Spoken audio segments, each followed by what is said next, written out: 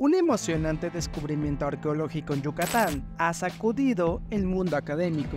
Se ha encontrado una cueva maya con fascinantes pinturas rupestres y vestigios ancestrales. Tras una investigación exhaustiva, se planea crear infraestructura para permitir el acceso al público a estas maravillas subterráneas, aunque ingresar requerirá habilidades de rapel y equipo especializado Debido a la complejidad del terreno, entre los hallazgos se incluyen osamentas, indicando un uso prehispánico del lugar. Aunque la época exacta aún, aún no ha sido determinada, los expertos consideran este sitio como uno de los más importantes para los antiguos mayas utilizados sus rituales y encuentros con sus divinidades. Ahora, se espera que sea protegido y preservado para las generaciones venideras, ofreciendo una ventana única al pasado glorioso de esta civilización milenaria.